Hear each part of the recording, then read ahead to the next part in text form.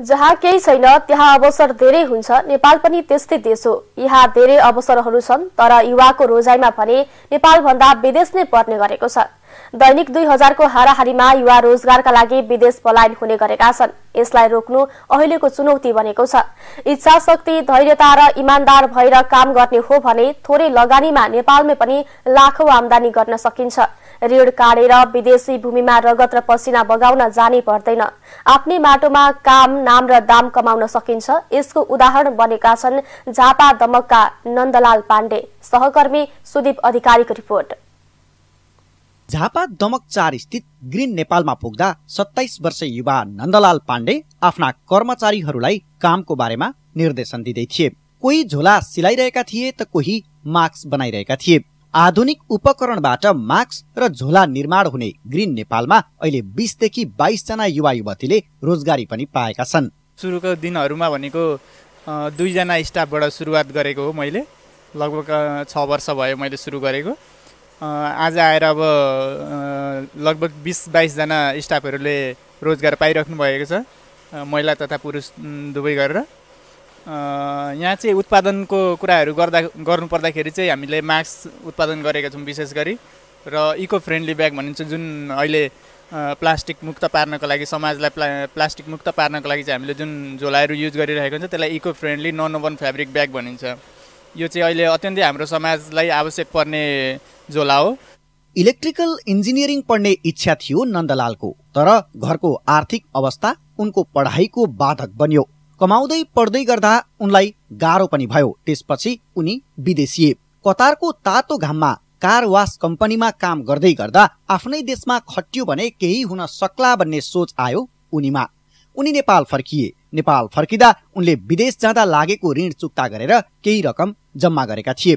त्यही रकमले उनले मोटरसाइकल किनेर मार्केटिङतिर लागे। त्यसपछि उनलाई कहिल्यै पछाडि फर्कनु परेन। निरन्तरको मेहनत र लगनशीलताले उनलाई आज ग्रिन नेपालको मालिक बनाएको छ। त्यहाँनिर तातो घाममा खट्न सकिन्छ भने यहाँ किन नखट्ने भनेर म लगभग सत्र महिनामा म फर्केँ त्यहाँबाट। सत्र महिनामा फर्केर यहीँनिर सुरुवात गरेको। मसँग त्यति बेर आउँदाखेरि मसँग आफूसँग भनेको घरको ऋण सिन सबै तिरिसकेर एक लाख पन्ध्र हजार रुपियाँ पैसा मसँग उग्रिएको रहेछ र त्यसले मैले एउटा बाइक किनेँ स्प्लेन्डर सुपर स्प्लेन्डर किनेर। त्यही बाइकको सहायताले मैले मार्केटिङ गरेँ अलिअलि गर्दै बिस्तारै स्टेप बाई स्टेप गरेर आज यहाँसम्म आइपुगेको। त्यही पनि मैले यति सङ्घर्ष गरेँ लगभग म दुईदेखि तिन घन्टा सुत्थेँ होला। त्यहाँको म प्रोपाइटर म आफै हेल्पर म आफै त्यहाँनिर एकाउन्टेन्ट म आफै अपरेटर म आफै सबै काम मसँग सुरुवातका दिनमा मसँग कोही पनि स्टाफ थिएनन् वान म्यान आर्मी जसरी म खटेको हो। काम गरे स्वदेशमै सुन फल्छ भन्छन् उनी। अझ देशमा रोजगारी छैन पढाइ अनुसारको काम भएन र मिल्दैन भन्दै अहिले युवाहरू विदेशिने क्रम बाक्लै छ। तर जहाँ इच्छा त्यहाँ उपाय भने झै लगनशील भएर काम गर्ने हो भने आफ्नै देशमा सफल हुन सकिने उनको अनुभव छ। यस्तै स्वदेशमा रोजगारी भएन भन्नेहरूका लागि उनको सुझाव यस्तो छ। जति विदेश जानको लागि चार पाँच लाख रुपियाँ लगानी गरेर उहाँहरू जानुहुन्छ चार पाँच लाख रुपियाँ लगानी गरेर एउटा मसँग जोडिएर बिजनेस गर्न चाहनुहुन्छ भने उहाँहरूलाई उहाँहरूलाई कन्सेप्ट दिन्छु। उहाँहरूले मजाले यहीँ पनि तिस चालिस हजार रुपियाँ मजाले सेलरी पाउन सक्ने वातावरण म बनाइदिन्छु। यो म ठोक्का च्यालेन्जिङका साथ हजुरलाई भनिदिन्छु जोसुकै व्यक्ति आओस् चार पाँच लाख रुपियाँ आफ्नै बिजनेस हुन्छ उसको।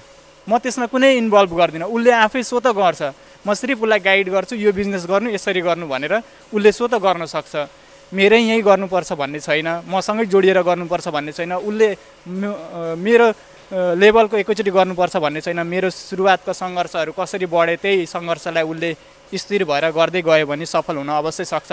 मानिसमा जब इच्छा शक्ति हुन्छ न उमेरले छेक्छ न जीवनमा आइपर्ने चुनौतीहरूले नै रोक्छ। जीवनमा ठुलो कुरा भन्नु नै त आत्मविश्वास हो। अझ सबैभन्दा ठुलो केही गरौँ भन्ने इच्छा शक्ति नै हो। नन्दलाल पाण्डेको कथाले जो कोहीलाई यही कुराको भान गराउँछ उनले गरेको यो प्रगतिको अवधि धेरै लामो छैन। छ वर्षमै उनले अहिले सफल युवा उद्यमी बन्न सफल भएका छन्। उनको मेहनत लगनशीलता र धैर्यताबाट धेरैले पाठ सिक्न पनि आवश्यक छ। हिमशिखर टेलिभिजनका लागि क्यामेरामा सूर्य तिमसिनाका साथ सुदीप अधिकारी दमक झापा।